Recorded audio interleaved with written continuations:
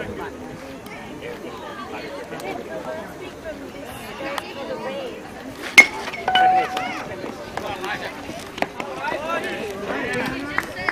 right. Uh, the coach will step back. don't listen to Ken, Brianna. Don't listen to your coach. Don't listen to Ken.